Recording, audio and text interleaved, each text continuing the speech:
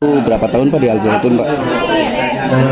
Saya kalau aja kan dibukanya sejak 99 ya. 99 kalau saya mulai aktif di gerakan itu sejak tahun 90 96 sampai 2006 Pak. Saat itu jabatannya apa, Bu? saya dulu pimpinan di apa namanya, pimpinan Jawa Barat NI Jawa Barat. salah satu pimpinan yang di Jawa Barat Pak, eh, yang Bapak ketahui soal Al Zaitun itu apa aja sih, Pak? kata aja itu iya aja itu itu dulu diinisiatif oleh anggota NI untuk membangun sarana pendidikan atau pengkaderan masa apa generasi muda untuk masa kemudian dari inisiatif dari inisiatif itu kemudian dilanjutkan mencari lahan. Dengan terbeli lahan sampai 1.200 hektar jadilah kemudian dibangun sejak tahun 98 dan 99 mulai penerimaan siswa baru kemudian sampai hari ini saya keluar tahun 2006 setelah itu saya dikatakan Eh, pada saat itu Pak, itu eh, sama nggak sih sama isu-isu yang berkembang seperti saat ini nih Pak? Sampai 2006 gerakan di Azaitun itu masih normal.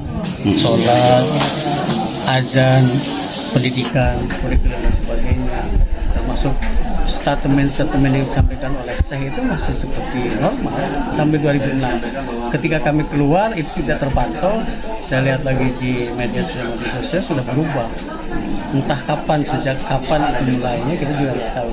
Tapi yang jelas sampai saya masih di sana itu tidak ada eh, penyimpangan-penyimpangan dalam masalah statement yang dia sampaikan atau kegiatan atau amalia yang dia beda dengan yang terjadi sekarang Kalau dulu ada gerakan makar tidak, Pak? gerakan apa? Makar.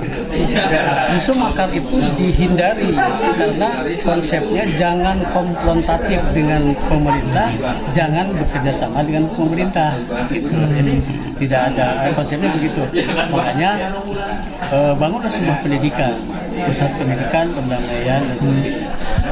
Eh, cuman eh, apa gerakan-gerakan yang di teritorial itulah yang dikondisikan karena ada gerakan teritorial ada gerakan di eh, mahat beda itu walaupun orangnya itu, itu juga Hmm. Oh, berarti dulu mah masih normal berarti masih ya? normal sampai 2006 ya Hmm. ketika saya keluar 2006 masih normal Bapak sendiri kenapa keluar, Pak?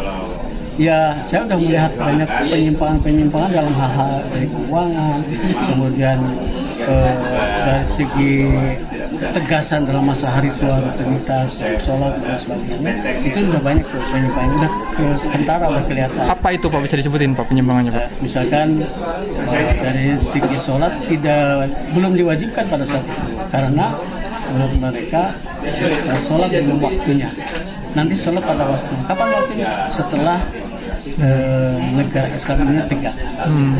Selain itu, apa lagi, Pak? Ya sudah terjadi apa namanya eh, beda beda pandangan beda pendapat sehingga saya harus mengutus. Sholat kalau ter-